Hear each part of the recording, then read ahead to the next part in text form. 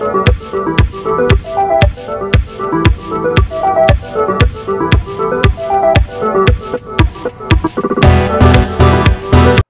the R video tutorial on the randomization test. In this video tutorial, we'll talk about the randomization test in the two sample setting.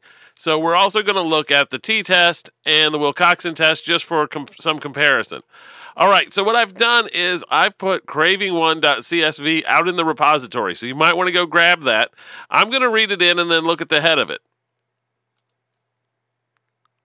And notice my window pops up here, pick craving one, and here I have some weird artifact because I have the data that was on a Mac, but this won't really uh, cause a problem at all. Here's the craving. It's basically mock data from a clinical trial where they were looking to see whether lorcaserin reduced people's cravings. All right, so what we want to do first is just try the standard T test. Now, notice I'm not actually paying attention to any uh, of the assumptions or anything. We'll talk about that here in a minute.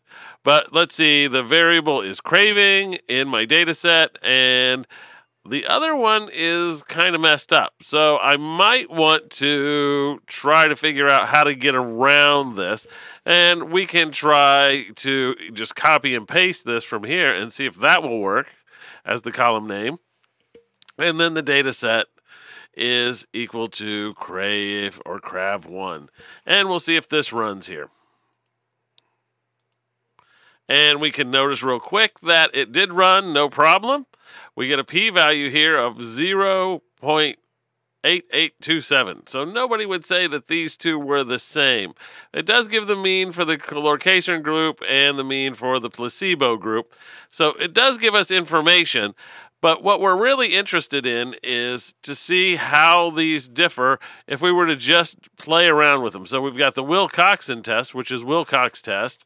We can do the same thing, and essentially all you need to do is copy and paste what you had in the other one in here. And you can run this one as well. And notice it says it cannot compute exact p-values with ties. That's okay. That means your p-value here is approximate. And notice the p-value is very different than the one up here. The p-value up here is 0.8827, and here we've got 0.132, which is much smaller. All right, so let's just look here real quick at what this might look like for us. So we could do a quick histogram of the data. So I'm going to put in here craving, crave one, dollar sign, craving, and just get a picture of this thing. And what we'll notice real quick is a, this data is really not normally distributed. So the T dot test is really violated, and the, the sample size is actually small as well. If you scroll up, you'll quickly see that there's not that big of a sample size. If I scroll up here, you see the degrees of freedom is only 16. So it's not that high. Now, what we want to do is try to do a randomization test. And the idea behind the randomization test is you're saying, well, the labels don't matter if H naught is true. If the if the means are the same, then any labeling will work. And so what we can do is look at the labeling and then come up with something. So what we're going to do is scramble the labels. Now we're going to have to do this many times. Uh, so scramble the labels. And this can be done using the sample function. So what I'm going to do is I'm going to just create a new variable. I'm going to call it treat1. And what I'm going to do is I'm going to sample my variable here, my variable name i treatment. And I'm going to sample it for exactly the length of it. So here is this, and it's in the Crave data set. And what I can do is, how many of them am I going to take? I'm going to take the length of it and then I'll put the crab in the front of this. And what the next thing I can do is just put in here, I need it to be without replacement. So I'm using the replace uh, in here. So replace equals false. Okay, I'm not going to replace it. So what it does is it just scrambles the labels. It uses exactly the same labels that we have, and it just scrambles them. Uh, I'm also going to pull off here the craving data because I don't want to scramble it. So craving does not get scrambled. The labels do get scrambled. Some people do it the opposite. They'll scramble the craving and then leave the labels the same. Doesn't really matter. Basically what you're doing is you're scrambling the data and you're seeing how this behaves. And then in here, all I have to do is calculate just basic difference in means. So I can say here, the mean of craving 1 where treat 1 is equal to, I can do lorcaserin, is one of the means, and then I want to subtract that from the mean of the craving, where treat 1 is equal to placebo. Let's back up here. Placebo.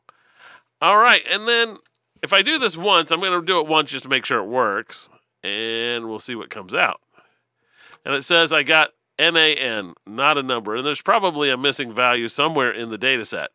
So we can look at this and let's say here treat equals lorcaserin, if hopefully I spelled that correctly. So let's look at this real quick to see whether or not everything works out correctly. It says integer zero. So treat one, let's see what treat one looks like. I can see it says lorcaserin and placebo. And did I spell everything correctly?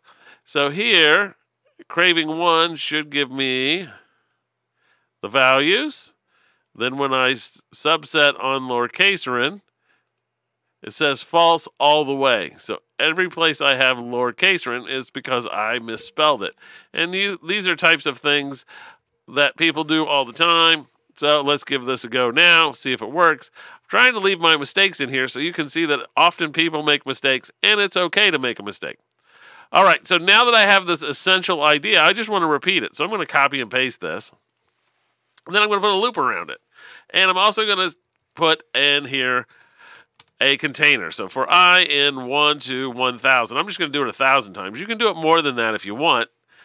And this one I'm going to need here to put the brace there and then create a container for the results. So I'm just call it res1. It'll be repeat 0 1,000 times. And this creates a container for me to throw the answers into. Then I just come down here, res1i, and this will put the means in there for me. Now, I do need to keep track of the mean difference for the original data. So this is another thing. So you're going to need to copy and paste this as well. It won't be as difficult. We'll have to come back to it. But here we're going to have to do just a little bit different here. So this was CRAV1 craving, where CRAV1 treatment treatment equals lorcaserin. And do the same thing. You copy and paste it here. The reason we need this one is we need something to compare against. We're going to see what happens if the labeling doesn't matter, and then we'll see what happens if the labeling does matter. Here's where our labeling matters in our actual data. So what we do is we repeat this many, many, many, many times, and then we look to see where we fall in this. So we're going to do this a thousand times. It's going to give me a thousand results. And then I can do real quick, if I wanted to, just do a histogram of this so that you can see this randomization distribution. And here's the randomization distribution. What is the difference that we actually had in our data? In our data, we had negative 0.989011. Okay, so we would find out where this falls on here. So I'll call this our data value or our database difference in means. And then what I can do is just put a V line in here or AB line. And it'll be vertical at data val 1. And I'll make it red. Color equals red. And this will show me where my data exists across all these scrambles. And I can see it's in the middle. So what does that tell me? My data is not that uncommon if the labels were scrambled. So the labeling doesn't look like it matters. And if you want to get a p-value, you can do this as well. So you can get the mean if else here. What we have is res1 if res1 is less than our data val1 then we're going to give it a 1, otherwise a 0. And what that does is it counts up the number of times that the scrambling was less than this value. And it's not a, really a true p-value, but it's like a p-value. It gives us a sense of where this falls. And you can see, oh, I ran didn't run the whole thing here. If I run this whole thing, I get 0.413. So it's really quite common in our setting here. So doesn't look like this treatment worked with the data that we had. But the key thing about the randomization test is it doesn't have the assumption of normality. Nowhere in here did we assume things were normal. Nowhere in here did we assume that variances were equal. What did we assume? We assumed that the labels matter. That's it. We have continuous data and that the labels matter. We didn't assume anything about the distribution, just that it's a continuous valued variable. And this allows us to perform tests that are very much different than the T-dot test or the Wilcoxon test and with fewer assumptions. But it does take more computing power here to do this. So here's really where the randomization test comes in. So randomization is below. And here you can yours will also be different because this is random number generation, right? We're scrambling these. I scrambled them one way, you'll scramble them a different way, you'll get a different answer. But this is the essence of the randomization test. Does the labeling matter? If I scramble the, the labeling and I the data that I have is rare under the scrambling, then that means that the, the the labeling mattered. Okay, so if you scramble it a bunch and your data is rare under that condition, that means the labeling mattered. All right, so we'll move on to the next video.